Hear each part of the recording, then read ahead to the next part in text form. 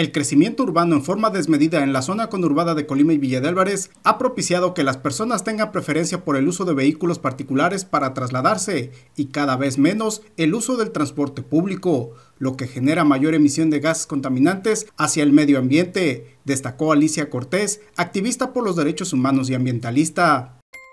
Tenemos una desconexión completamente entre la ciudad en general y entre estas dos, estos dos municipios, lo cual provoca como recorrer grandes distancias, también se acumula... Eh, hay, hay, un gran tráfico vial, eh, tenemos eh, largas horas en las calles, bajo el sol, más contaminación, más autos, la gente se vuelve más dependiente.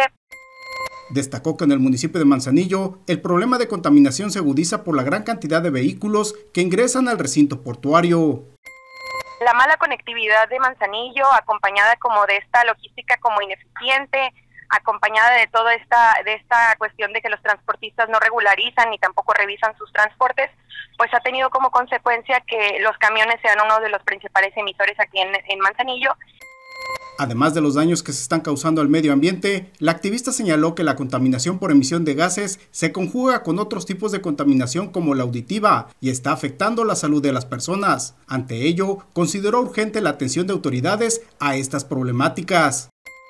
La degradación ambiental, acompañada de la mala gestión de la ciudad. Estamos dejando básicamente una ciudad diseñada para el pavimento, para que la gente esté en su carro bajo y, en el aire acondicionado todavía, que eso, eso es un desgaste de gasolina todavía peor y más emisiones. Manuel Pozos, Mega Noticias.